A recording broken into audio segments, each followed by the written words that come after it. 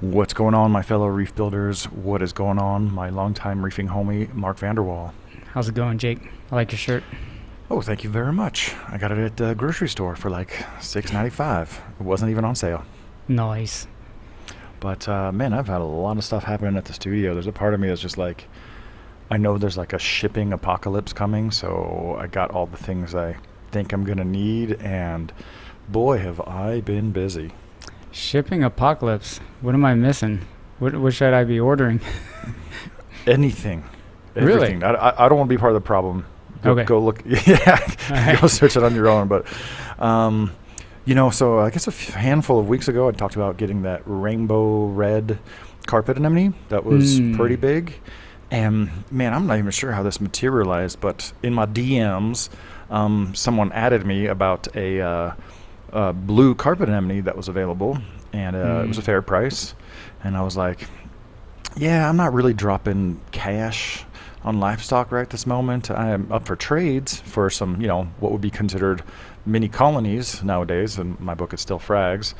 So I received a massive, massive blue carpet anemone. And I thought it would be manageable enough to put in the coral flat where I already have like half of my anemones. And it was just so big. I I had already prepared the top row of the mode rack Yeah. to as a as a mm, stepping stone to turning the whole rack into the uh, anemone system, and uh, put it in there, and it is I don't know like 16 by 16 inches, just like t- almost filling the entire thing. Absolutely bonkers. that is big. It's it's really big, but it was a cool opportunity too. Um, I've had some uh, three foot Nicobar LED strips um, for a while, and I've just been waiting for like the right application to install them. And uh, because they are focused, I was able to really like bring them to the front and angle them back, and just get a really good gangster lean on uh, the the way the, the the lights point backwards. And man, I'll tell you what, this this top rack with essentially no filtration, it's just a MaxiJet kind of just jammed into a sponge filter that blows across the two sections to you know the two dividers so three sections. There's and then an airstone right? So there's no biomedia. Well I, I take that back. I did take three or four like bioceramic balls from MaxSpect and just toss them up there as a little just a tiny little bit of help. Yeah. but man now that i've got it going i'm like it doesn't make sense for me to like kind of save the mode rack for fish that I might be getting and have this one the top third earmarked for anemones when I already have the anemones and I don't have these other fish I want. So now I'm like, oh snap, I'm gonna have to reverse this. Right? So I'm gonna have to do some good water changes on the mode rack and then somehow figure out like a uh, playing musical tanks is take all the fish out, take the anemones, put them down, and take whatever unplaced fish and put them on the top rack and keep that as a actual quarantine mini system. Yeah, it sounds like a little, any any. I was gonna say that sounds like a little bit of work. Any concerns about like residual medication or anything like that? I never have. I've never worried about that. I know back in the day we were always so. All right, so I mean, like copper in the silicone and then the. well, we also and- used copper like it was just a panacea in Yeah. all kinds of fish tanks with all of our dolomite and and you know coral skeletons and you know when you sure when you have that massive amount of uh, mineral compounds in your tank, of course they can leach a bunch of stuff. But as we're about to talk, when we get into the um, our discussion of the Marine Aquarium Reference Systems and Invertebrates book by Martin Moe, um, that might be kind of misfounded. So no, I don't have any concerns um, about like antibiotics. They break down super fast. I've literally been using antibiotics on corals on purpose Yeah. and treating my tanks with antibiotics um, to try to snuff out this weird. I don't know. It's like I, I call it a gremlin because it's like that weird unknown problem that's just keep pops up and it hits that coral and then hits that coral.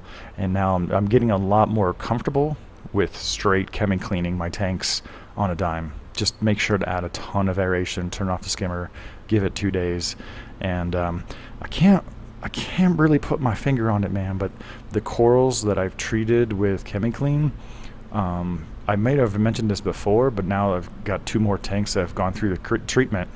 This is again, mind you, this is not at all to get rid of cyano. the corals that I've treated, it's like it's like a week or two later, they really start to look themselves like just really blossom. You know, there's a difference between a bubble coral being open, you know, seven, eight inches, and then being open 15 inches and being almost a problem. Yeah. So to answer your question, I'm not worried about about residuals at all. I'm curious because you have gram positive and gram negative bacteria, right? And then you have antibiotics for each. Um, Mm-hmm.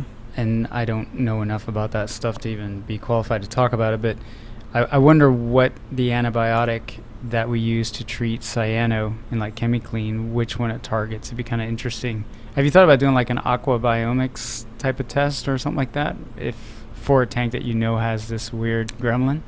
I have, but I think that Aquabiomics is just now like knocking on the door of having the the tools necessary to um, really identify what is in that water. All right, so this is I've got a list, and we're totally like jumping all over the place. Sorry, yeah. I No, no, you're- I- no, You, this- you, this- you say something, and then I've got so many questions. No, this is an awesome, awesome like segue into something I wanted to talk about. I wasn't sure if I was going to mention it today, but like today I wrote up this book right here um, by Andre Ryanskiy. He's actually been sharing some awesome photographs of like Red Sea reef life. You know, he Yeah. looks at stuff. I don't think he's an aquarist, but he's just like a little bit tapped in. So he showed us some crazy pictures of um, some some dottybacks and some anthias from the Red Sea. I'm assuming he's Euro- European with you know Andre Ryanskiy. Um, but he's got six books, and they're small little books, like 15 bucks for uh, Kindle edition, $25 for the hardcover. And you see all these books next to me?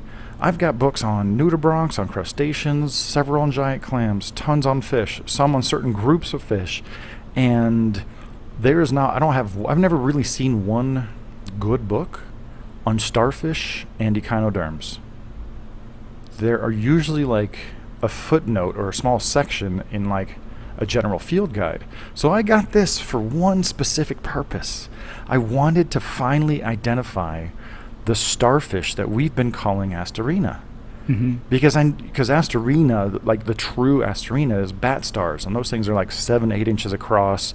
Um, the the arms are like a lot more conjoined than the ones we see, so halfway to like a sand dollar or something. But isn't it also like uh, a family of starfish that are Asterina? Like it's sort of almost Yeah. too generic, right? hmm So we've been calling them for about 20 years.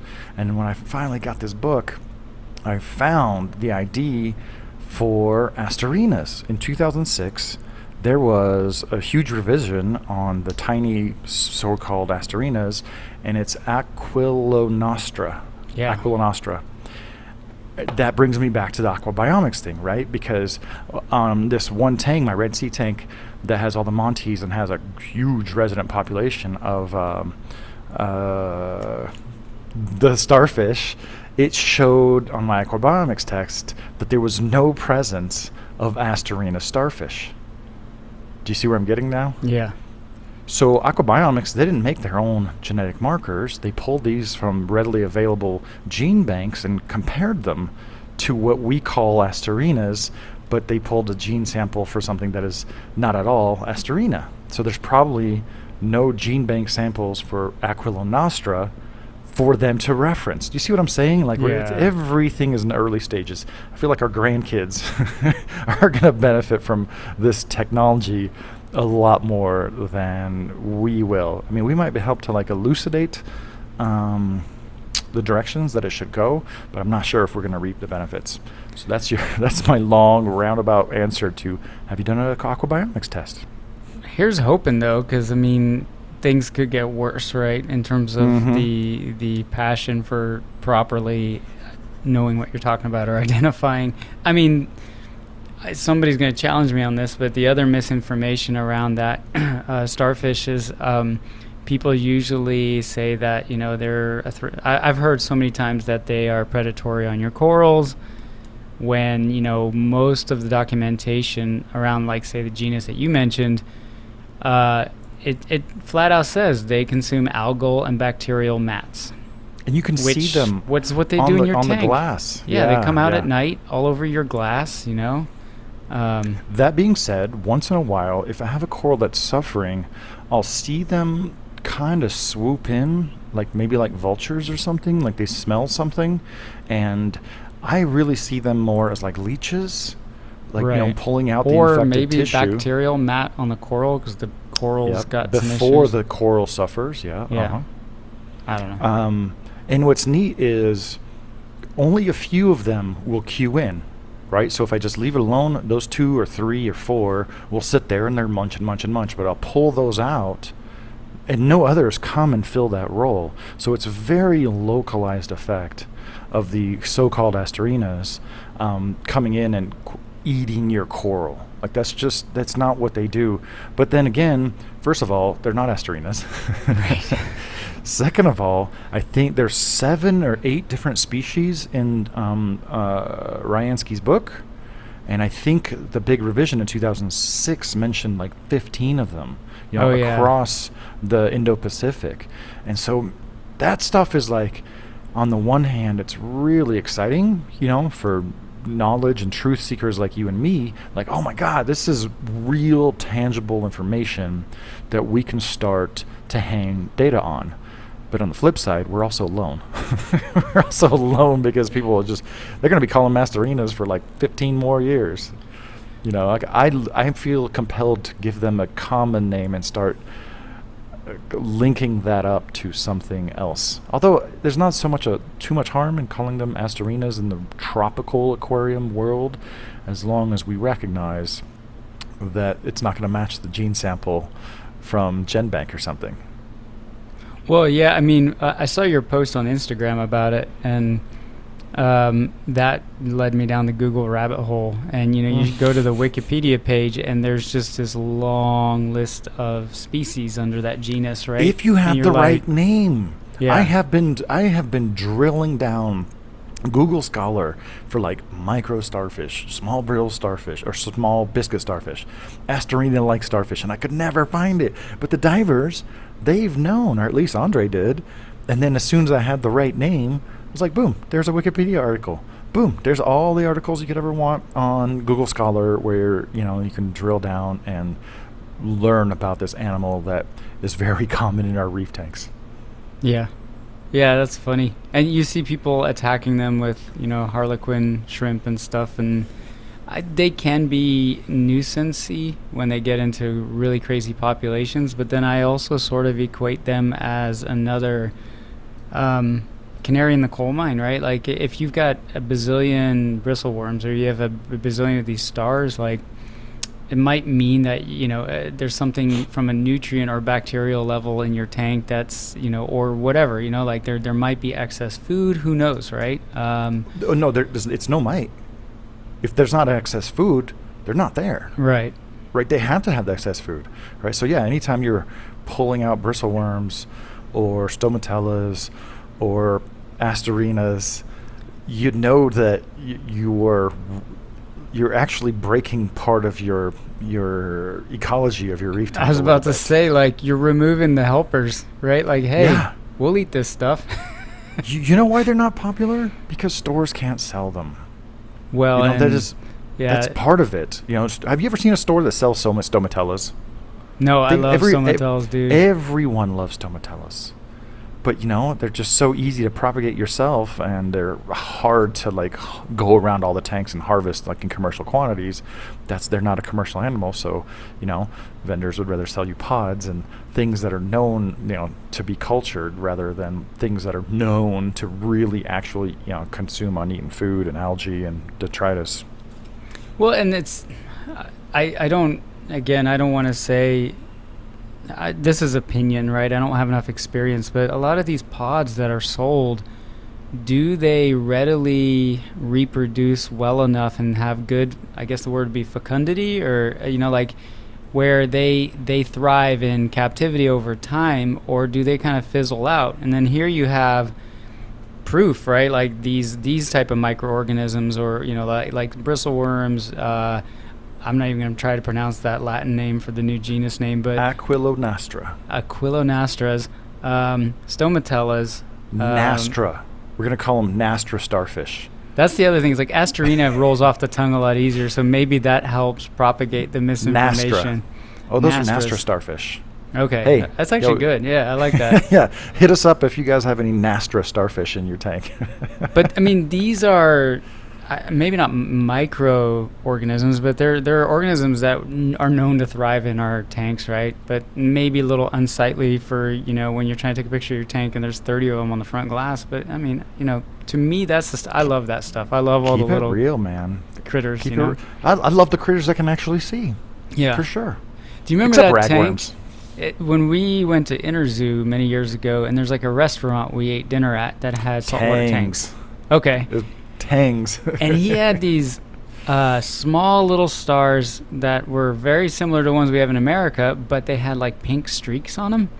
Mhm, And I, I mean. I mean, the the tanks itself were great, but I just zeroed right in on that. I'm like, what, what are those? You know, like in Europe, they have like a whole different pest starfish, you know, or nuisance Well, starfish. they're not pests. They're not nuisance. They're no, just I know. different I'm just Nastra using that, starfish. in, I guess, in quotes, right? I have noticed about three varieties in the, Uni- in the United States. There's a kind of like a generally modeled one that's pretty camouflaged. There's one that kind of has kind of a, a steel blue gray patch on the top, and then there's one that has like one to a few, you know, kind of dull red dots in the center. And I've seen others in other people's tanks. I'm, I mean, from what I've seen, they're pretty much the same. I think I have those three in my tanks right now. But I do remember you post, pointing out the Nastra starfish at uh, at Tangs, and it's yeah, it's really interesting. For such a small thing, they're probably like Eviotas, right? There's probably like 50 freaking species, but people just haven't looked for them in Yeah. all corners of the globe to be like, oh my god, these are these are like insects of starfish everywhere. yeah, that's true. Yeah, yeah. They're. I But mean, um, you mentioned something about uh, you know getting the IDs right, and I'm going to give a special shout out to Hayden Sims of Artistic Oceans in Las Vegas. Uh, I think he picked up on me lamenting the fact that I couldn't find Merulina everywhere. I think this was on our naming uh, our, uh, session, right? Because I was talking about how I finally got myself a nice piece of Merulina, but it was labeled as uh, Platygyra. so he held on to a piece what like three months because it was Las Vegas and it was summertime and it was super hot. So like, let's just wait till it's you know nice and cool. And then he was out of town and I was out of town. So anyway, yesterday I finally got them, um, and it was just so nice. He actually labeled them. I think he probably collected another one, um, and label. eh, So he got me a Merulina ampliata. Which is kind of a little smoother, little rounded, and a Merulina scabricula, which is a little bit more sharp-edged, um, a little bit more like blade branching, like blades kind of growing into each other. mhm. And it's just so freaking cool, especially since last weekend I picked up another m- Merulina that was just, you know, uh, maricultured from one of the local stores. I'm like, oh man, I'm kind of swimming in Merulina now. I need just a couple more. And I'm like, all right, I got that Merulina situation handled. Um, but another thing he sent me that I'd been talking about is uh, a small baby clown triggerfish. Like I know he's gonna be a headache now, but God, it's looking at a baby tr- clown triggerfish immediately transports me to being like 14 or 15, and walking through, you know, the questionable uh, aquarium stores. It might have even been a pet shop that had an aquarium section, but you know, dolomite, underground filter, dead coral everywhere. But when you're starting in freshwater and you see a fish like that, you're like, that does that just does not compute how crazy cool and unreal it is. So. So now I have a pet clown triggerfish, and he's hardy enough that I think I'm going to call him Cosmic Oh, in homage reference, yeah. to Cosmo, the famous clown triggerfish that had his own column in Freshwater and Marine Aquarium magazine. Yeah, I know. I don't think it was uh, on the podcast. It might have been before or after we started recording, but we talked about just these fish that we've either never kept or, you know, um, sort of get overlooked. And, and, and especially when you get stuck in the coral world, right? There's like a Mhm. laundry list of fish you just immediately dismiss at that point.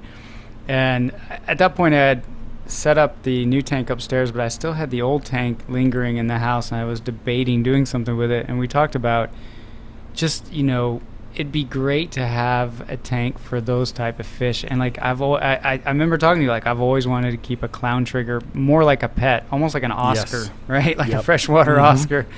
Um, I mean, I'd be happy with a I don't know, a Picasso trigger, but they're just so full of personality. But you definitely it has you have to kind of build your tank mates around it and and what you Mhm. want to do with it. You know, It's, Absolutely. it's definitely uh, it's not just a random pretty fish you throw in to add color to a reef tank. Like no, no, uh, I'm, I'm, I'm, I'm really considering how I'm going to train this fish and tame this fish to not be a monster, yeah, basically. So he's really small now. As soon as he gets through quarantined, I know I know Hayden had him for a long time, but you know I do my own thorough quarantine. I'll pop him in the fish tank, and he'll be like the smallest fish in there, and I'll just keep a really really close eye on him. Um, and I've had a line spot triggerfish for a long time that uh, Rob Mouget gave to me, and I'm going to give it back to him because he had two and he gave me one, and um, something happened to his other one, and so it, it's just nice to return the favor. I'm like, hey, Yeah. Here's your fish back, a little fatter, a little bigger, about a year and a half later. and yeah, no, the clown trigger is just one that really, really speaks to me. But I got another really, really cool fish that arrived alive despite FedEx. You know, I want, I want to be really upset at FedEx because there was another fish in there that didn't make the journey. It was, but this is the, only, the first shipment from any vendor that was delayed, uh, uh, the first overnight shipment that missed a day. And um, the Cypho purpurascens. Do you know which one I'm talking about?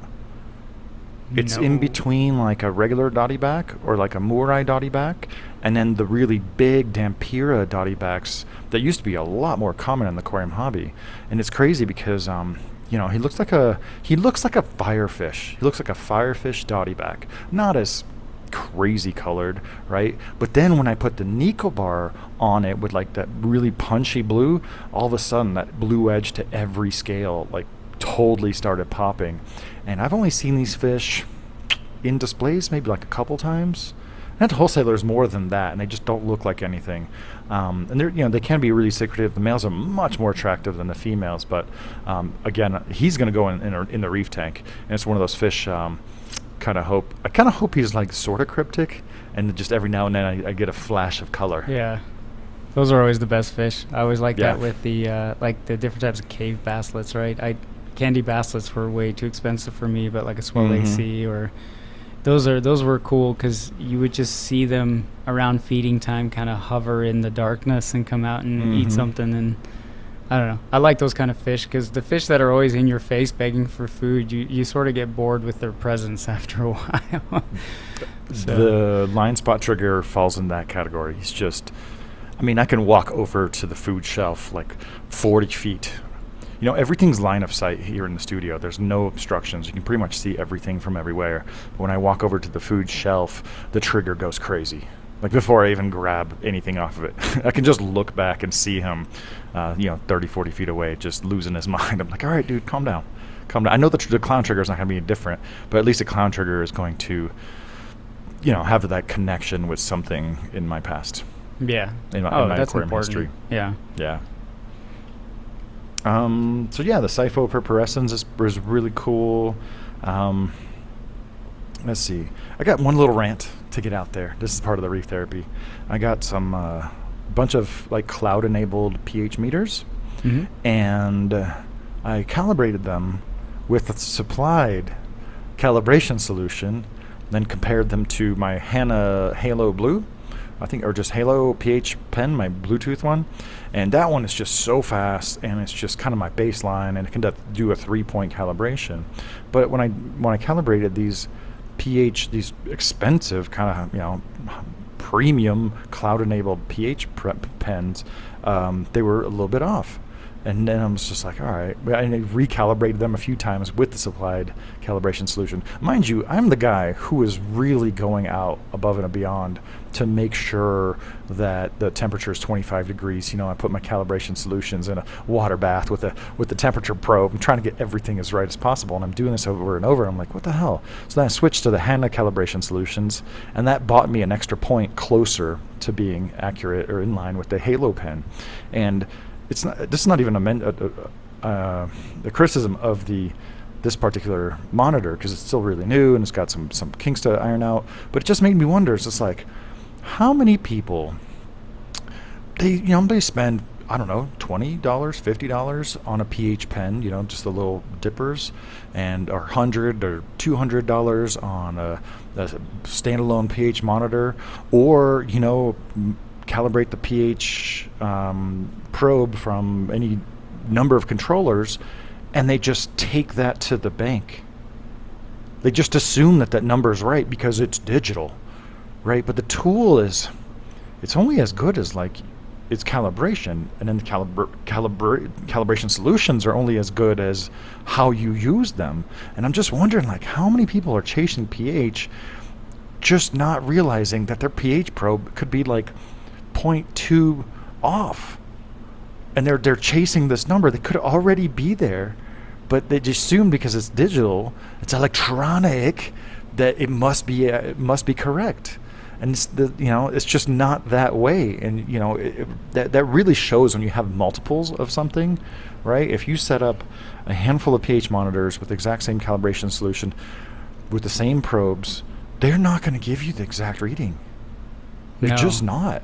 Well, and this goes back to um, chasing numbers and the idea that um, if you're chasing an exact number, how do you know that your the your unit of measurement, right? The the thing you're using to measure uh, and monitor for that number is accurate, right? And I mean, um, I have hygrometers to measure humidity in my house, all over my house, and I've calibrated them all, right? But you put them all in the same room and they will variate.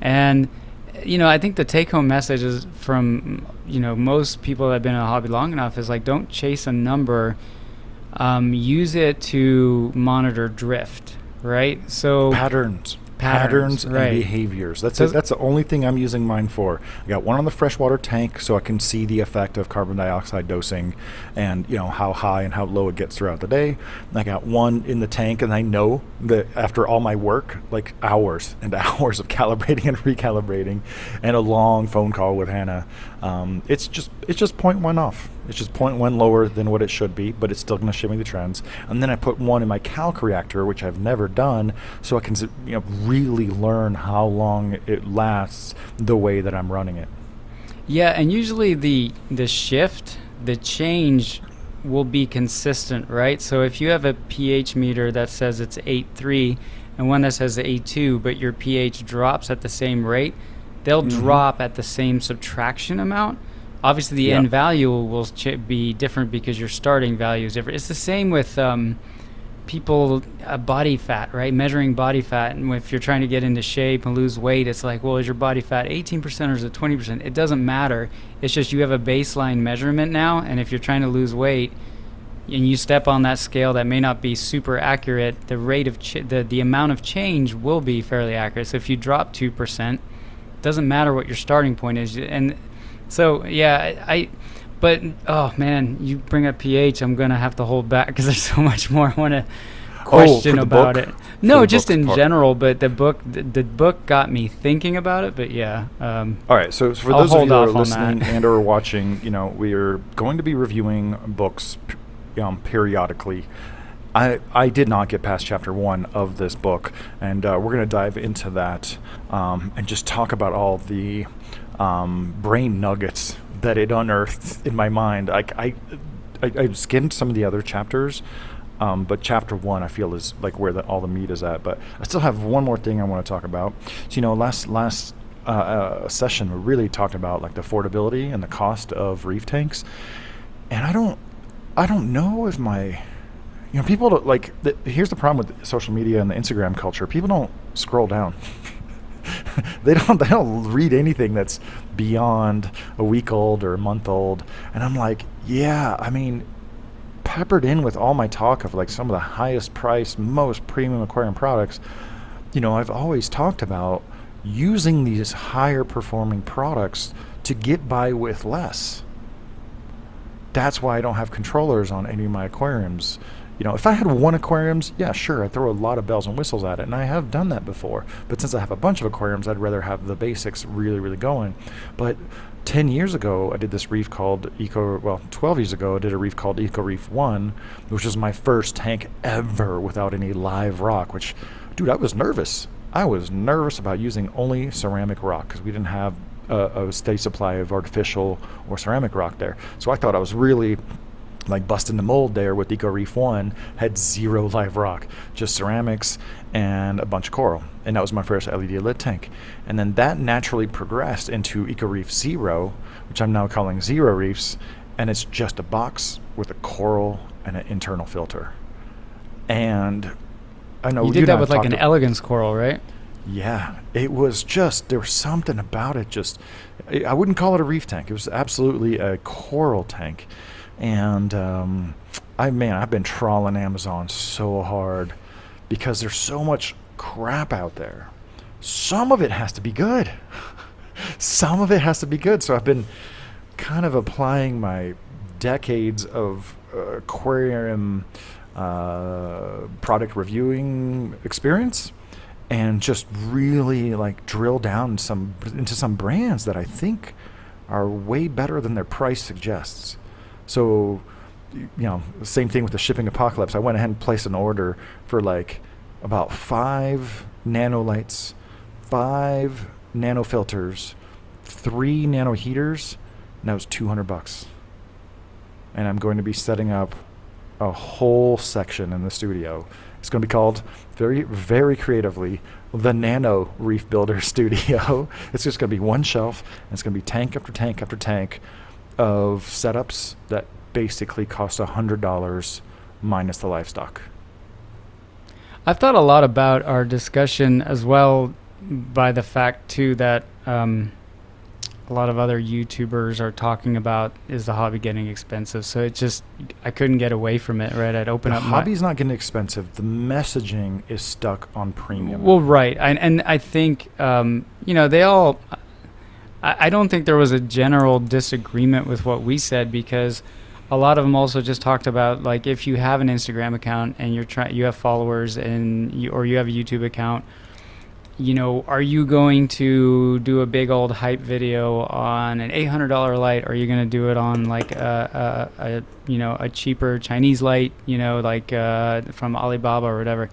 Um, and I, I get their arguments on that too but anyway the the thing that so I, I was wondering like is there people out there are there people excuse my grammar out there making videos focused on affordable reef keeping? And and there are but there was also you know from your usual hit youtube channels it, they o- they all covered the topic at one point or another in the past but there was always a focus on nano reef keeping. And so for me the the question was again it's well it's like how do you quantify affordable? But I, I think the point is like you and I had tanks that you wouldn't consider nano long ago when we were bro- I mean I set up my first real reef tank when I was a freshman in college like talk about being broke right right. um, and we really DIY'd it, right? And so the I feel like if you make a video about like you know budget reef keeping, but it's like a 10 gallon nano, that's fair because that is one way that you can uh, keep things affordable. Because filling the tank with coral and fish is is another budget, right? That's that's totally subjective. So that I'm keeping that out of my price. True. description because with a little bit of sleuthing and um, a little bit of begging, you can f- get a lot of coral for free. But a what lot I of little feel- scraps of corals. And I mean, there are videos here and there, but what I feel is missing is the messaging around an affordable reef tank that's 40 gallons or 70 gallons, right? And um, I, I, I don't want it all to be so focused on like nano reef keeping um, because I think you can. I mean, you talked about like Eco Reef 1 and Eco Reef 0, like talking about using lace rock. Like, you know, you can keep marine life in a larger system, and yeah, your cost for salt may go up a bit, and you're going to have to get some more rock, but and but it's still in the range of affordability. You know, is it going to be a hundred What I- what dollars? No, it's going to be probably like five hundred bucks, maybe. You know, for a decent What, seventy. what I'm trying to, what I'm hoping to achieve, is if I demonstrate six or nine times, six or nine setups Yeah. that each cost a hundred dollars, you'll see that it's not a fluke. Right. right, so and you can me, this is- extrapolate that that's scalable. Exactly. Right. Like Exactly. what works for a you, nine you got a 75 gallon tank. You want to put a couple power heads, not even propeller pumps, a couple power heads on there, an Emperor 400 power filter, And if you do it right, yeah, you're looking at about three hundred dollars for a three foot tank. Right. Yeah. Easy, easy. You know, and I'm, I'm to me, it's actually going to be the beginning of a movement of the zero reef. So just like, and it's not, I, dude. Don't get me wrong. I love my toys. I love my toys, but I've been looking at this GNC Blu-ray right here under my TV. It's uh, got a sticker price of thirteen hundred dollars. I'm just like, after our talk last week, I'm, I'm thinking to myself, man, you could set up like three really nice medium-sized reef tanks for the cost of that one light. No, I, what I want people to understand is just like the premium equipment, like especially in reading all the older literature and this book, is we, because the livestock is so premium, we wanted to safeguard it. But that doesn't mean that just keep adding stuff ad infinitum of just oh I need this and I need that and I need this to just make my ecosystem better. If you don't know how to play the instrument, you know having more keys on the piano is just it's not going to help. It's going to hurt. Yeah, and I feel like there's a cyclical nature in this that predates uh, even social media because uh, like back when reef central was the end all be all on the internet for reef keeping It was. It um, for a short yeah for a short run there and i was an admin there i mean my signature was less technology more biology and that was a Mhm. rebellious statement because i had witnessed the you know there was the uh, you know Thiel Aquatech platinum wet dries with the ozone you know generator and the ozone reactor. I mean things went gear heavy there in the 90s for a bit. And then there was the counterculture that was like screw that noise, like less technology, more biology, right? And you know obviously that had its pitfalls because then we went into the deep sandbed world and stuff. But but that's how Jaubert and all of that plenum stuff kind of came into the limelight. And now we're kind of full circle where I remember texting you like all of a sudden like all these YouTube channels were talking about ozone again and I got nothing against ozone, but it's like you know, there's some really gear heavy uh, reefs that are kind of in the social media spotlight now and it's just like you know what happened to the less technology more biology mentality and the simplicity of it right? is that if you know you and me can participate in this zero reef movement and demonstrate what is possible with just the absolute stripped down bare bones people will instead of really cheaping out on their lights they'll just skip a whole bunch of other crap like you know skip a bunch of rocks and and, and just silly accessories that they don't need and just buy one good light that they're going to be able to use for eight to ten years yeah. You know like like really use it for eight to ten years. That today's generation of higher end lights that is what they're designed for. That was the the mindset of reef keeping in our day.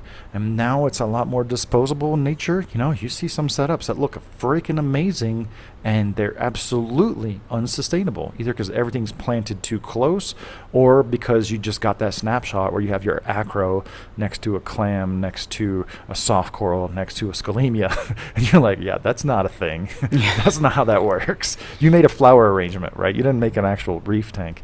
And i'm not dogging on on creativity but it's you know we need to better understand what is being presented to us and, and what that means one of the most uh, I, I, I what's the word um, one of the most respected SPS tanks in the Reef Central days for respected SPS coral dominant tanks in the Reef Central days was uh, Thurman was his username. I, I don't know if I, I forget what his uh, full name is, but it was a college at the time he was a college student. It was a 40 gallon breeder in his dorm room with an Iwasaki I think 400 watt over it and he Mhm. built a refugium out of a plastic waste basket, right, uh, off the back, um, and then he had a hang on the back skimmer.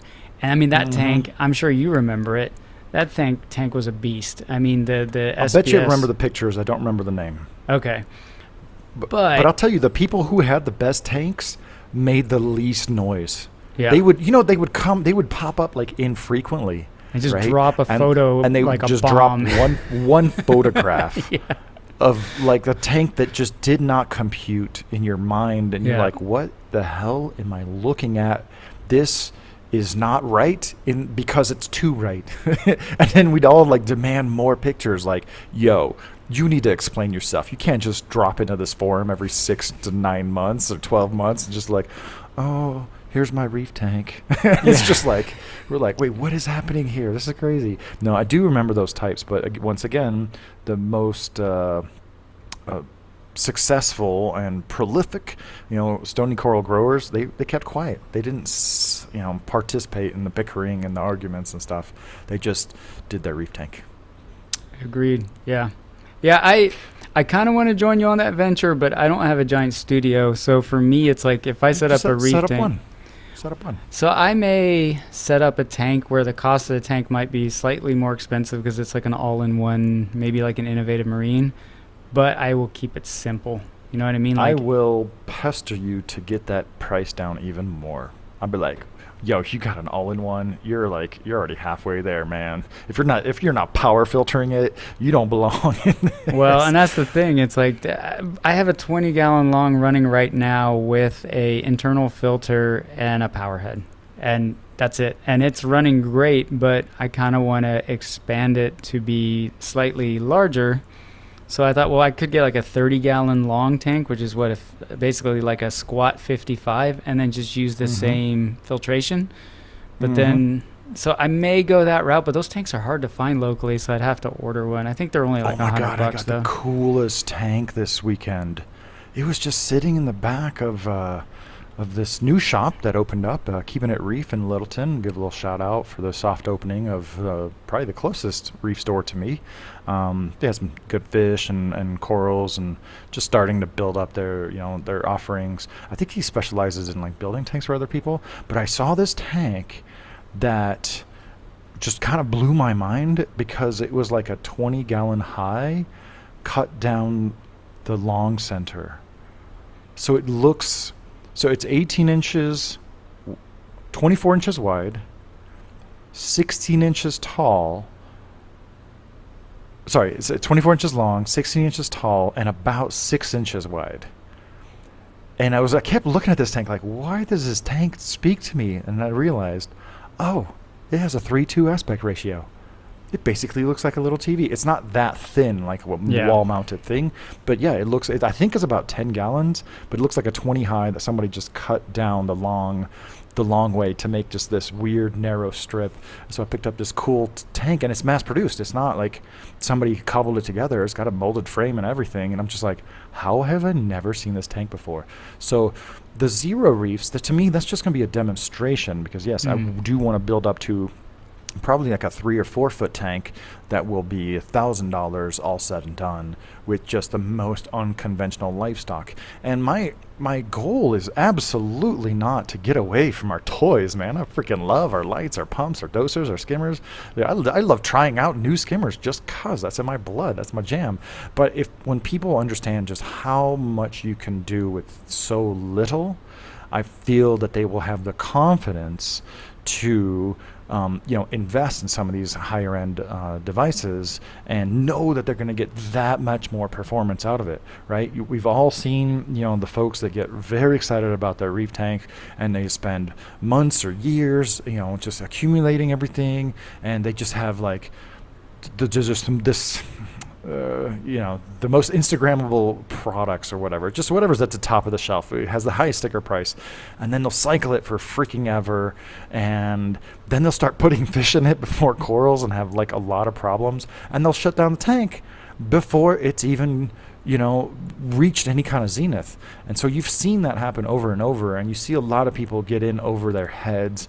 You know, everybody's local uh, Facebook or Reef Aquarium group or whatever always has somebody who's selling some very lightly used high end gear for, you know, uh, used car prices, right? As soon as it rolls off the lot, as soon as you touched it with water, uh, yeah, okay, you, you just lost like 40, 40 to 60 percent of the value of the thing, and then everybody's gonna nickel and dime it. But but yeah, no, just this is definitely not a response to some of the messaging that's been going on, but me just doubling down on some of the messaging that I've you know has permeated uh, Reef Builders content for the last 12 to 15 years. And it doesn't mean that if, if you don't like totally strip it down, you're not the cool kids. It just I just want people to see how little is necessary, especially a child, right? Any kid who's interested in, in getting started, realizing like, hey, a reef tank without fish is going to be really easy. Um, but pester your parents for about two to three hundred bucks, and you're you're going to have a good time. Um, I want them to know that. Yeah, and that's I mean, I think that speaks to how you and I started in this hobby. So, you know, I think um I think there needs to be a focus on that, right? Is is it's not so much even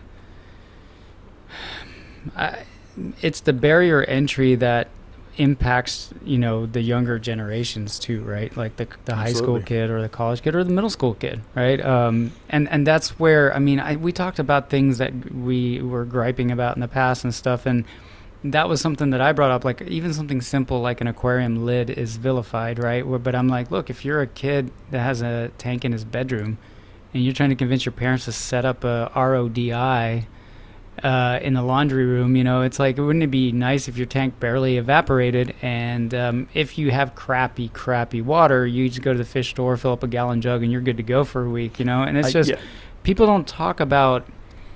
It's. I mean, you brought it up with RODI. Like, when did that suddenly become a necessity? Right, uh, an, an, essential absolute, piece of equipment. Right. An absolute. You know, I, I, I consume so much content freshwater saltwater written video podcast like freaking everything like i'm a i'm a vacuum i'm always want to know what people are thinking what they're talking about. Man i watch so much reptile content. It's not even funny. I'm just always hoping to glean like one tiny little trick that uh, we can port over.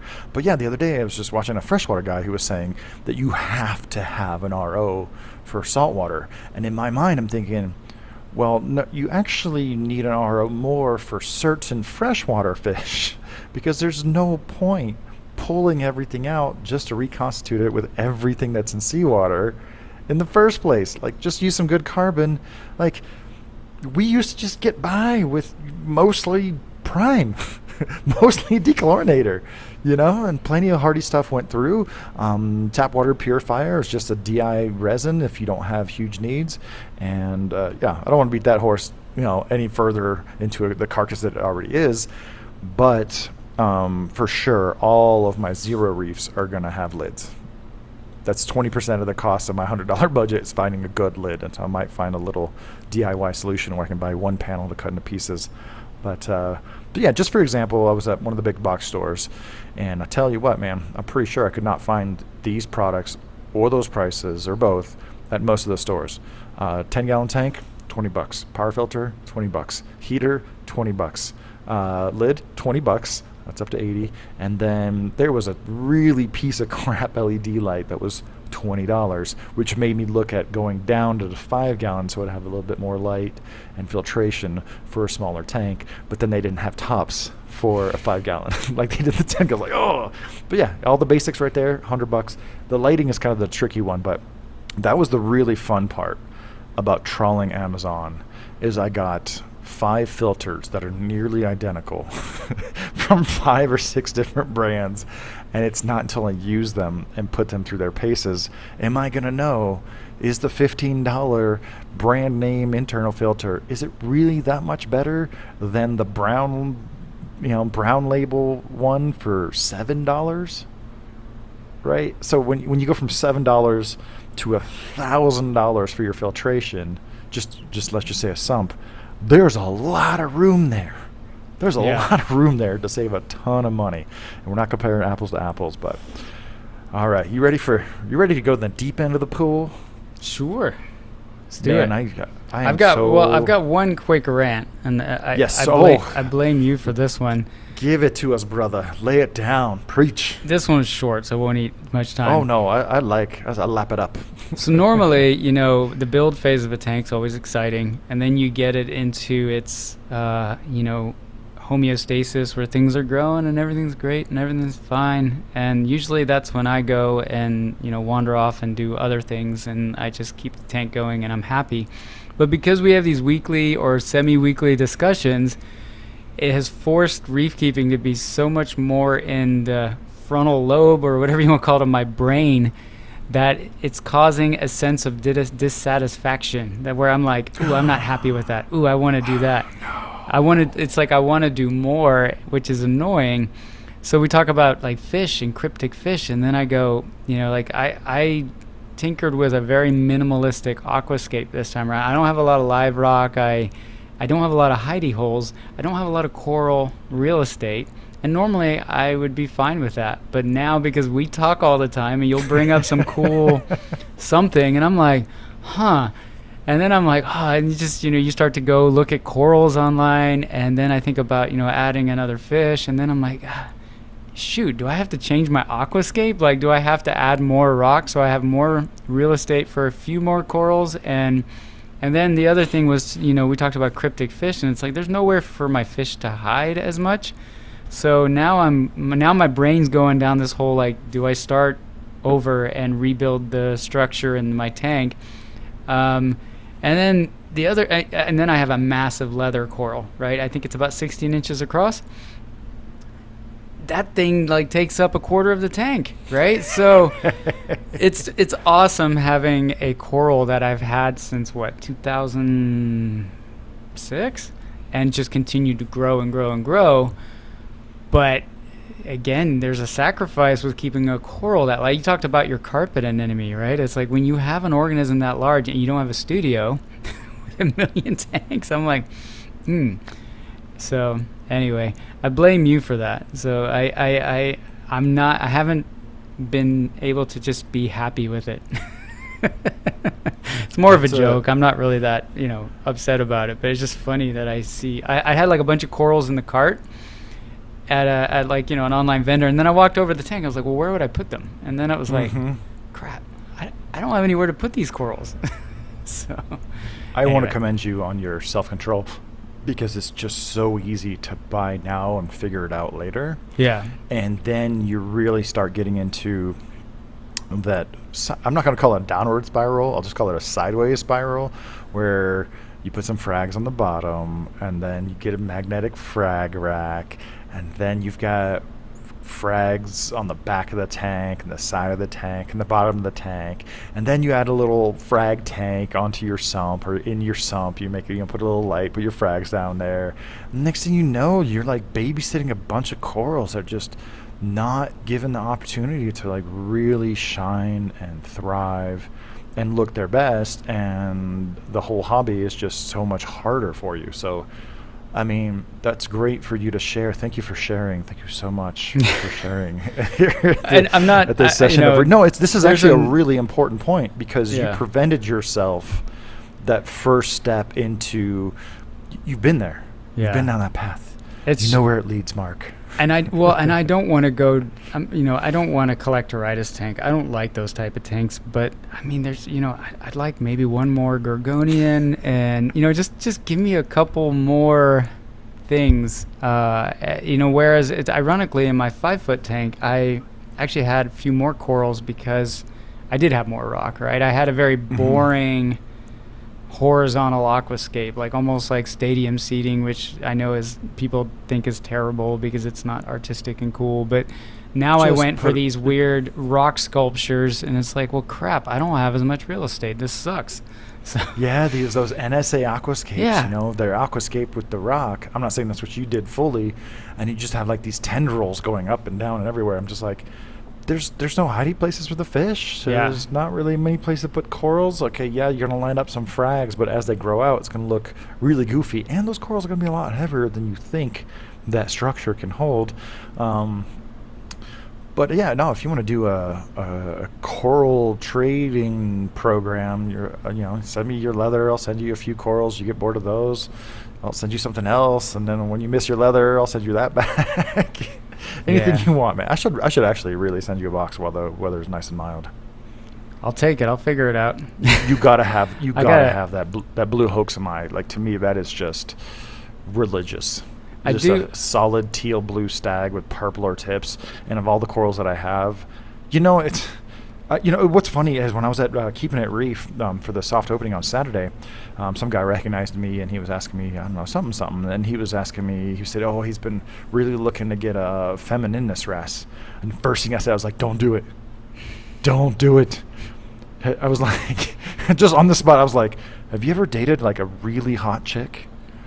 You know, one that's just like really needy and needs like that assurance all the time that she's beautiful enough and just has to have you know you spending money on her this and that it's like that's what that fish will be like And then he told me he also had a Timor wrasse. I'm like, yes, that's the perfect substitute. It's beautiful, it's hardy, it's not quite as showy, but at the end of the day, it's not going to stress you out, you know, like the hot chick on the reef. Like Femininus, you know what the best case scenario is? And I think his name was Brooks, so shout out to Brooks if he's listening. Um, I think the best case scenario for a Femininus wrasse is it gets big and turns into a male. And then it looks nothing like it did. Anyone out there looking at femininus wrasses for like a thousand to twelve hundred dollars. Don't do it. Get yourself a Timor wrasse every three or four years, and you'll have a lot of money left over. Yeah, yeah. I that, that the the holy grail fish for me that I, I don't want to own unless I'm a billionaire because otherwise I would just lose sleep over it all the time. That it would you know something would happen and it just the stress would just not be enjoyable. Um, yeah, I think I need to get rid of maybe some large leathers that I don't know. But you don't have to get rid of it. You can literally make a few frags. Yeah. You know. You know what I think. That's would be the other thing. You're right. I could trim a lot of stuff down. You know, get more. Uh, you know what I think would be it. really cool, especially in our spirit of reef therapy, is make a bunch of frags and offer them up to reefers 16 and under for free. That's a good idea. just just pick up shipping no way you know and maybe yeah i'm sure um, uh, george would love to have kids come in and pick up, pick up some free coral from you. Because in the meantime they're going to be educated and schooled like that. Um, so yeah that's a that's an open challenge to anyone who's you know feeling like the hobby's too expensive is like all right share some corals. Make some frags. Just share them around you know? Make yourself a couple frags of your long-term leather and just put them in different spots different tanks. Make sure to safeguard it. You know it's going to come back um, but chop down a bunch of the rest and give yourself some some real estate Good point. Yeah. All right. Let's get into uh, let's get into the book. I'm I'm gonna let you. I, I just one time I just want to point out that I have this hard copy version of the Marine Aquarium Systems of Reference, uh, signed twice, and just like just like the hot chick, just like the Lenardi, I am scared to handle it. I even looked through my library just to see if I had the the crummy paperback version, so I didn't have to handle this one. So I'm just like super carefully opening up the pages. But no, I I think um, chapter one, it's got a bunch of just Oh shoot! Absolute knowledge. Um, but this is really like this is Oh, really yeah. like a, this is really like a textbook. This is not like casual reading. This is the kind of book that if you have really curious nature and want to know the whys behind what it is we do and why we're doing it, every book that was written was referenced a book that referenced a book that referenced this book.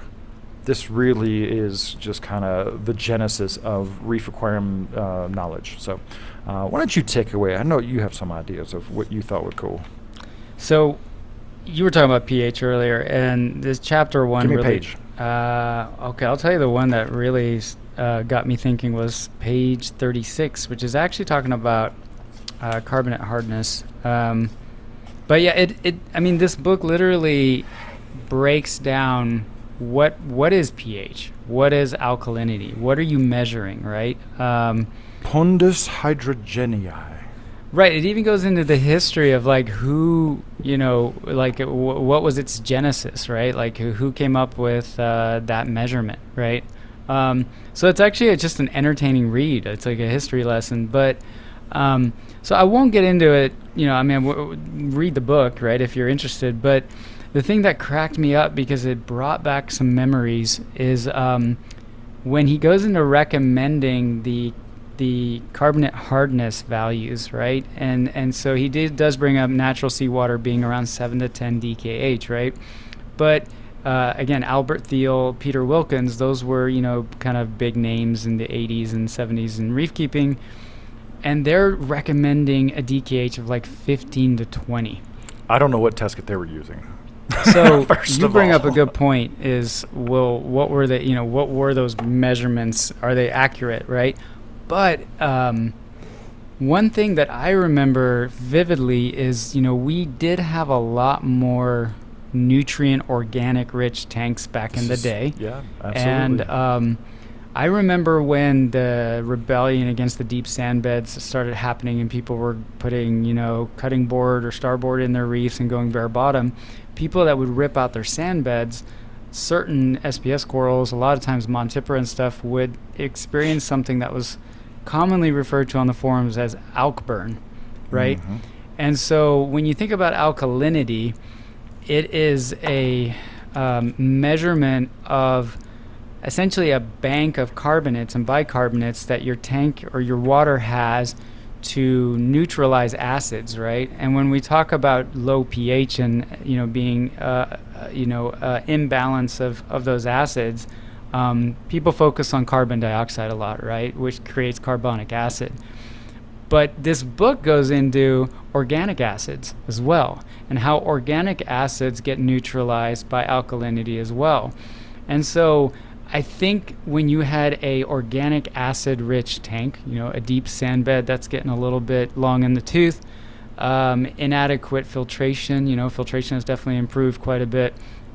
I think the impact of having a higher bank of carbonates in your tank was less impactful, right? But once you suddenly start ripping out all of that organic acid source, right? Um, that decay, that decomposition, all of a sudden that high bank of alkalinity started to create a problem, and that's what.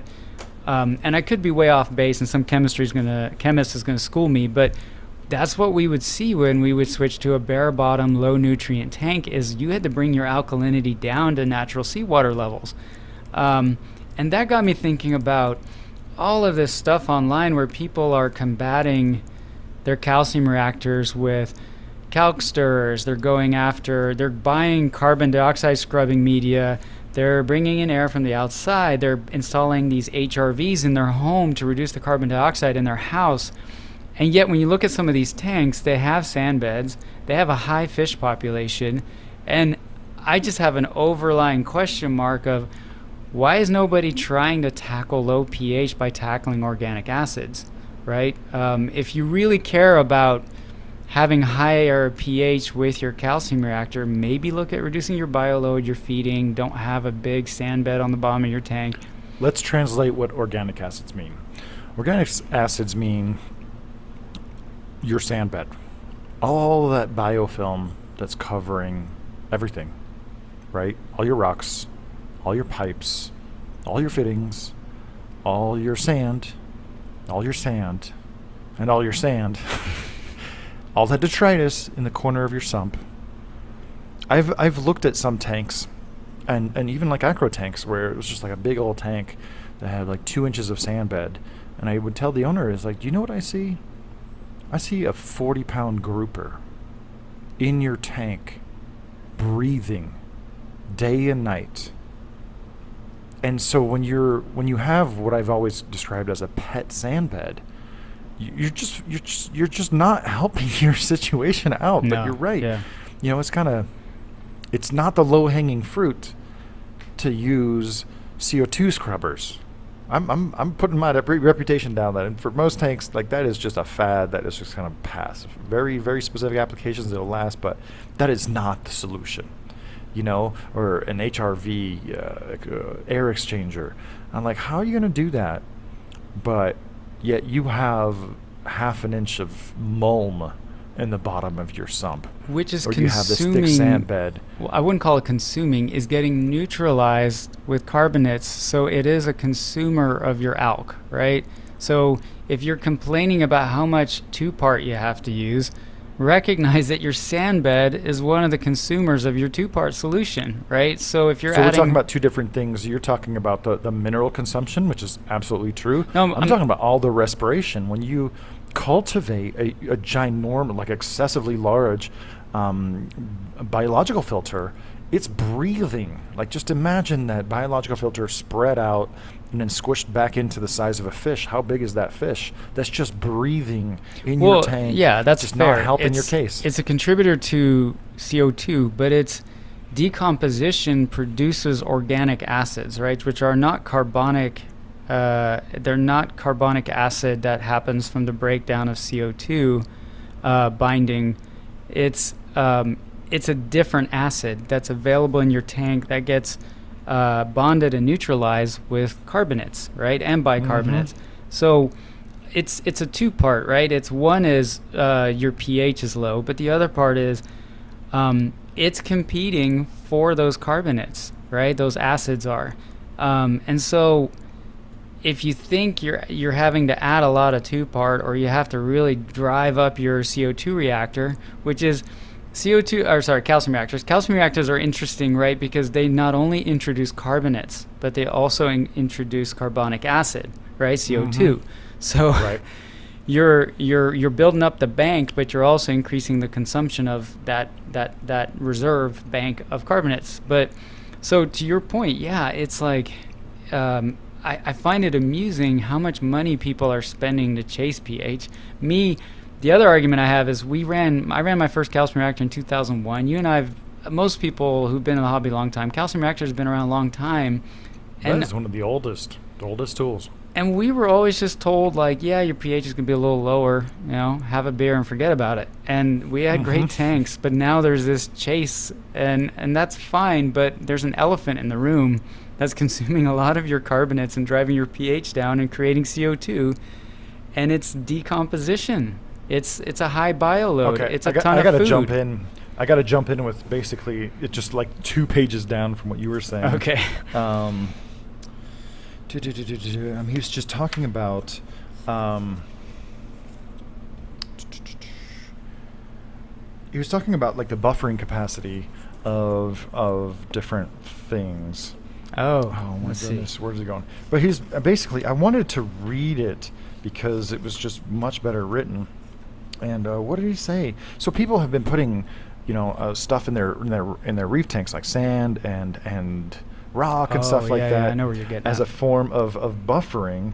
And what he's saying basically is that within three months and within a year, all the surfaces are bound up by these organic acids that you're describing Mhm. and uh, magnesium crystals just and the only way to fix that is to dry them out or to acid wash them otherwise everything you think that is giving you like a buffering surface after a year it's just like locked in with biology like you can't you can't do it anymore. Everything you think is, you know, we always we would always say this, right? Aragonite or dolomite or calcite in your undergravel filter or your substrate is supposed to be like a you know big reserve for the the carbonates of, available for your sand for your for your tank or uh, neutralizing these acids are present. But after a year all the surface is just totally locked up in, in biofilm and magnesium crystals and now it's doing the opposite by what you're talking about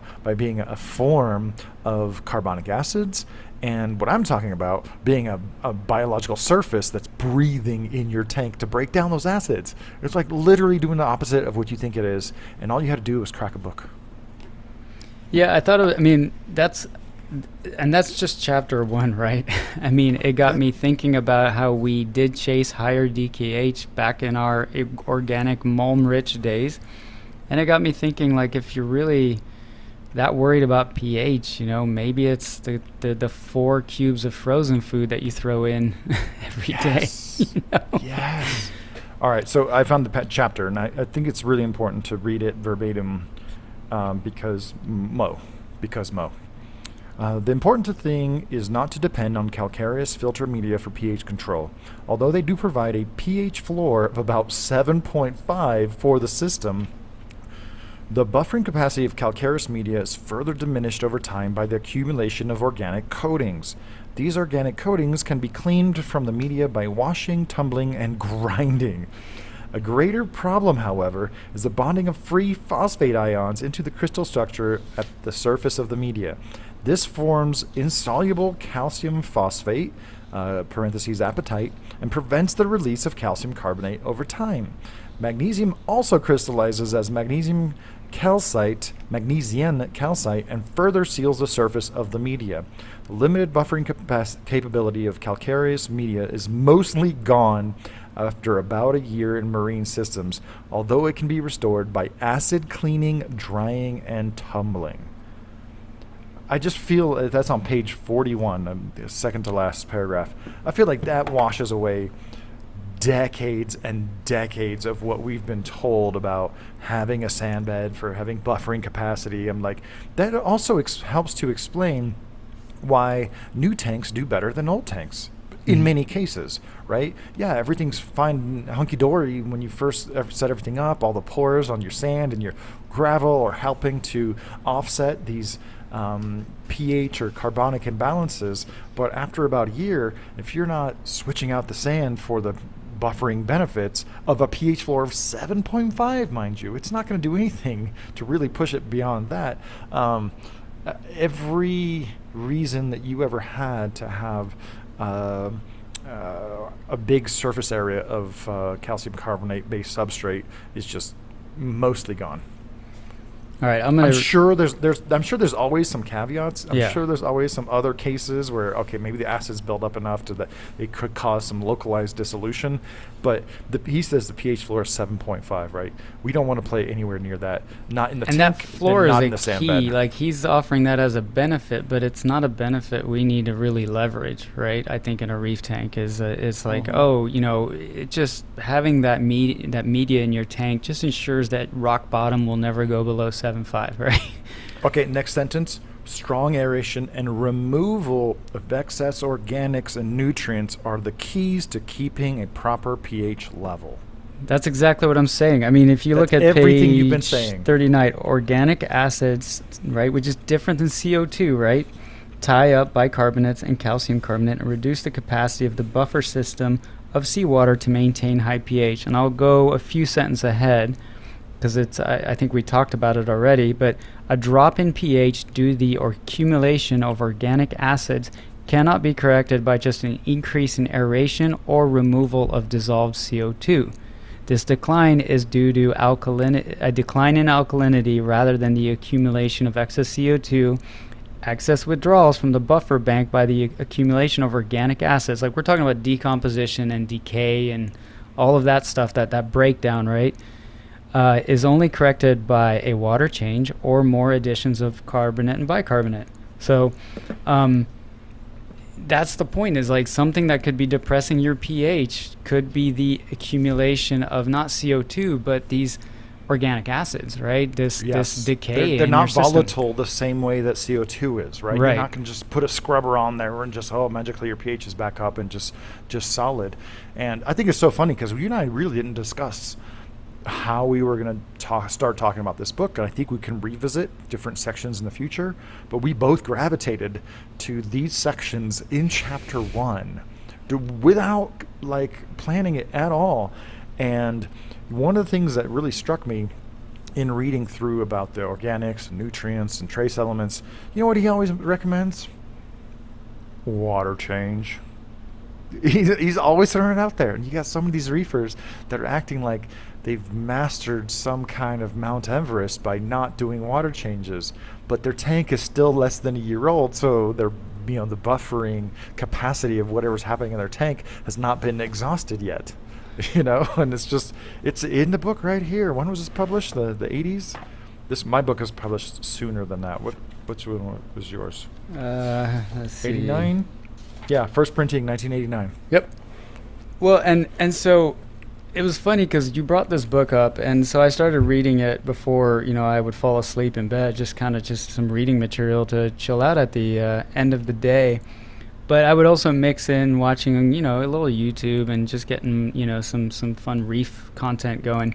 And it was just funny because I was watching these videos, and I won't mention names because these the folks are I, I do provide really great content, right? But they're just talking about chasing this pH dragon with CO2 and all the mods they've done to their tank. And I'm reading this chapter in the same week, and it almost felt like the universe was trying to be like, "Hey, you know, you know, like this is lost, right? This is lost in translation. It's no longer part of the discussion." And call me a skeptic, right? There's if there's something that somebody can sell and buy, that's going to be the thing that's going to produce the content when it's like, hey, you know, have less fish and feed less if you're worried about the pH. And that's the other question is if you run a calcium reactor, maybe just let it be, you know, like, all right, I got a little lower pH. And I'll, I'll dog on it one more time, and that was that some of the YouTube comments on one of the videos were like, "Why don't you just switch to two part?" And they were like, "Well, a calcium reactor is more affordable in the long run." I'm like, "Is it? I mean, you spent money on a calcium reactor, an HRV, you're buying CO2 scrubber media. You gotta replace the CO2. how much You gotta replace the media. Right, and and and remember the the amount of uh, alk, you know, two part solution you're dosing isn't like a direct correlation to how much your corals are are building their their stony, you know, calcareous skeletons. A lot of that's going to your your organics, man. You know, it's Yeah. uh, that's the elephant in the room that's eating all your dinner. You know. You know, one of the things we do here at the studio, especially in the coral flats, is we siphon out detritus that builds up in a few corners once a week. It's just easier that way.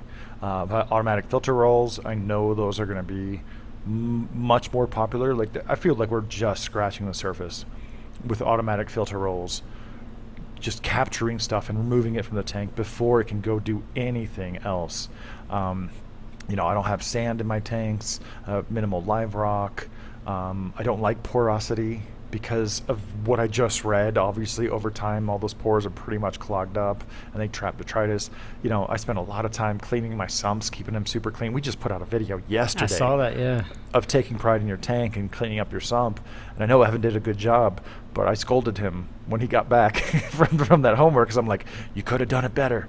There's a couple things in here not good enough. you know, just just it could have been cleaner, better, sharper. But no, that's the whole point. Is just when you're really in tune, um, those things will naturally be become just part of the pride of your reef tank. Like take the detritus, the piles of detritus that are in your sump or in your tank. Like do something with them.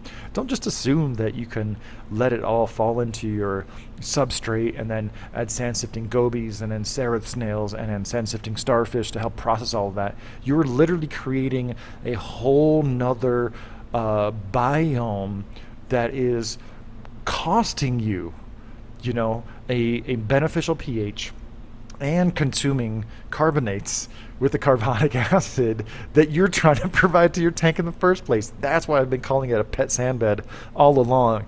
And man, I read that paragraph several times. I was just like, we've you and I have kind of known this a little bit, but just to see it articulated in a 30 year old book that I haven't read for a really really long time, just like man, there's there's so much great juicy information in many of the books that have been available for generations. Yeah, I would I, like. didn't, I didn't get beyond that. I literally didn't get. I was like, "That's that. We can just talk about that for a while." I didn't get beyond that in the book because there's like, like a lot of sections on um, different groups of algae and different groups of Yeah, animals. I, and I, kinda I'll know admittedly, I not like- breezed through the phylums, uh, the classification of life.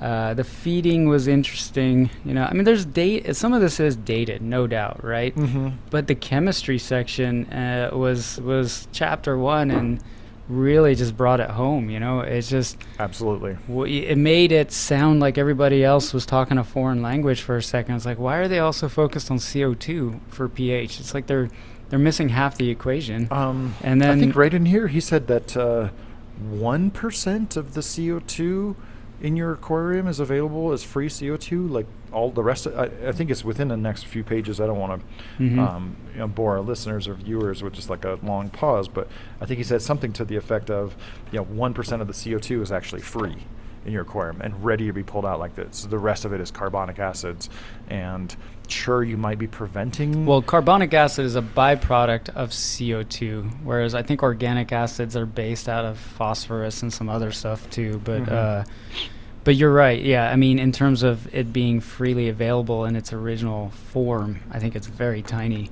Um, and yeah, I mean, I again, yeah, I, I think we we we drove it home pretty hard, but it's at this. It's just an interesting discussion. I'd love for somebody to look at that from an experimental point of view and be like, you know, if I really keep you know decay down in my tank and I keep my bio load down, you know, how much of an impact is that on pH? You could do some measurements, right? You could see, and and that's what I meant by the old forums and the discussions when we started to give up on deep sand beds was this mysterious thing was happening, right? And we didn't know how to react to it initially, so we would call it alkalinity burn, right? Because we removed one of the most massive consumers of carbonates of alk alkalinity. It's astounding that back in the day, the suggested alkalinity range was like 15 to 20. right.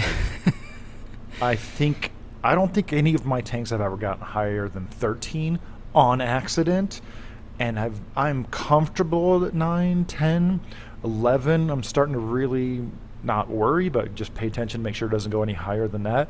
But back then, because of all the carbonic acids that they had in their tanks, they had to keep it at like 13 to 15, up to 20. Oh, that's just wow, wow. That's just that really just makes you think.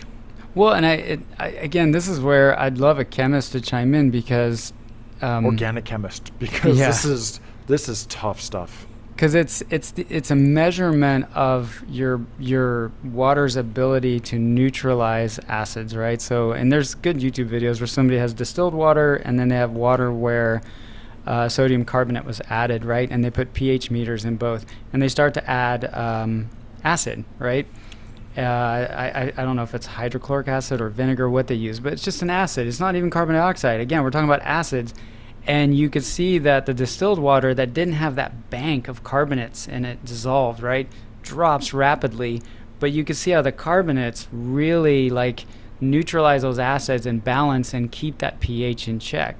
And so you know what is the impact of running a higher putting more money in the alkalinity bank right in your savings account for mm-hmm. that rainy day uh, for that buildup of and acid. Your sand is not it. The sand is literally the opposite of it. Yeah, it's it's the dude living in your basement, right, racking up the credit card, right? Like he's. Yep. Um, so, what is the impact of you know having more carbonates than natural seawater normally has available, and why, why even if you had a pH of eight three, why was that more tolerated in the presence of organic acids versus um, something closer to natural seawater. It, it's it's still an open-ended question, but I, I do know unequivocally that was a very common experience where we yeah. could get away with really high alkalinity, and it almost became the norm to the point that Peter Wilkens is recommending it. Right? Yeah, 15 uh, to 20 by Thiel and 13 to 20 by Wilkens or something. Yeah. It's just very different from what you're we're used to. So I think we might be revisiting that book, or maybe the one thing that was cool is he. Um, uh, referenced his previous book, which was printed a few years earlier, Beginner to Breeder, and I was like, dang it, I think I have that copy, but right now I'm talking about this book. Um, but I think, I think it's great to oscillate, you know, in the books that we discuss uh, every now and then. We're not going to give a, a, specific rhythm, but we had one old book, and uh, the next book I would like us to really talk about is the Coral Finder 2021 from Russell Kelly. I mean, this is some of the newest information. It's it, it's it's funny because it's like a like a like a guidebook, you know, and so it just doesn't look like it would have a bunch because but it's uh, 70 75 pages, but there's like 15 to 20 pictures per page, and I just love seeing these pictures of like I'm looking right now at just these larger colonies of Porites that are both plating and branching. And we don't get to see that or enjoy that in the aquarium hobby and all these different groups that um, uh, you know are, are in pictured in their natural environment. Um, he's got colony shots and then kind of like a closer shots and then like a macro shot. So you can really drill down to the coral identification. Um, this is specifically on stony corals. It's not that expensive, um, but if you want to pick up this book, go to byoguides.com. Um, this is a book that you'll be able to reference for legit coral identification, not made up names that don't translate to different countries or even different regions of the countries. You know, this is this is um, gospel as of right now. Um, so I think that'll be the next book. Do you have it yet? Mm-hmm. Yeah, I got the it. The Coral Finder 2021. Um, so once again, byoguides.com. Um, I've actually gone diving with Russell Kelly. He's he's such a great chap. I think that's what they call each other over there. Um, but he really knows his stuff, man. He's not some guy just you know most of the times when i read articles or, or see id books i'm usually f- very quickly a, few, a few pages in just kind of silently dying inside because i see some gr- grievous errors. And i look through this book and i'm like oh no. Oh no. This is this is all very very accurate. And you want to you want to know what corals are rare? Like this book will show you corals that are actually rare, not what the market tells you is rare, but what is rarely seen in the aquarium hobby. And if you and I and uh, our the the reef therapy crew, including Hayden Sims, who sent me two different species of Merulina, you know, really start to recognize the diversity of corals, um, we're going to start to really understand what's actually rare, both in the aquarium hobby and out in the wild. So very excited to uh, talk about this one. I think it'll be a lot more approachable for um, today's crowd. You know, because the Marine Aquariums reference, he's, he illustrates like several different concepts with like badly illustrated like Microsoft Paint diagrams. Oh yeah, I did like. Did you, oh, you haven't read it yet. He talks about where he thinks the hobby's gonna go. Oh no, Where, which page is that? Oh man, but he was not far off, and he almost uh, he pretty much predicted the whole controller thing. You know, like the crazy no. um, automation. Find that page later Yeah. and, mess, and text me Okay. what, where, where he said that because that is hilarious. But yeah, this is the diametric opposite of that book, Coral Finder 2021. This is like a lot more pictures and you know just just text and descriptions. Okay, Whereas Marine I- Aquarium reference. I found Oh, it. I'll, I'll, I'll just Uh-oh. not to continually read from the book, but you know, future Go trends, for page 359. I think we will see development in four directions towards sophisticated small systems into spe- spectacular large systems. Undoubtedly, use of computer controls for automated systems. And an increased development of broad of a broad support industry of food, livestock, and equipment. Right? I mean, Uh, that's prescient for 1989. yeah. Absolutely. Anyway, it's just it. Yeah, it's a good book. Uh, Very cool. I, I'm Well, I'm book, grateful I that you brought it up because it probably wouldn't have been, wouldn't have been one I pulled off the shelf, and Mhm. uh, it was just that being felt like I had homework and actually go read it forced me in there, and then I was so glad I did. So Me too, because when I was reading the stuff about the, you know the buffering capacity of different surfaces, I'm like, that's something that we've kind of been saying for like 30 years, but seeing in with this new lens where that was coming from, but also the limitations thereof, um, just really helped to, to crystallize those ideas for me. But I think the next one, like I said, Coral Finder 2021 is going to be a lot more approachable. I think he's doing some workshops through Masna that are, I think, sold out. But um, this guy really knows his stuff it when it comes to coral ideas. And man, I think it was an awesome session of, of reef therapy. We covered a lot of ground, talking about books, talking about tanks, livestock, and techniques. And uh, God, I can't wait to get back at it next week. same. It was Yeah, good. It was a good So, one. Thanks to everybody for uh, joining us on your favorite podcatcher. Make sure to rate us on Spotify, Google Play, Apple, whatever you're listening to. And if you have any questions um, on YouTube, um, I would like to, you know, a few days ago there was a big outage of Instagram and Facebook, and what I thought was super hilarious is like normally when you go to complain about something, you go to Instagram or Facebook. I know Twitter also exists, but it's just not my jam. And so you could go to Facebook to lament and complain about how Facebook was down, but YouTube was totally up. And there's a community tab on YouTube where we can just I think only us can can start a, a thread, uh, but you can put your comments down there and put your questions down there, and that's going to be a much more uh, referenceable place for us to pick out questions to answer on sessions of reef therapy. So if you go to the main reef therapy channel on YouTube, there's community tab. Take a look at it. I'll start a discussion there, and we'll start fielding some of your questions, um, especially for those times when uh, Facebook or Instagram are down. So thanks everybody for joining us. Make sure to subscribe if you haven't already. And uh, Mark, it's just so much fun, man. It's so much fun doing this with you and just getting into the weeds about you know reef aquarium theology and philosophy and, and science, you know, real science. And uh, we're just going to keep going in that direction. Sounds good. Yeah, I'm having a fun fun time with these. So uh, if I if I sound riled up, it it's in a good way. Yeah, it's in a good spirited way. So Absolutely. So thanks everybody for tuning in, and we'll catch you guys for another session of Reef Therapy next week. Later, guys. see you guys.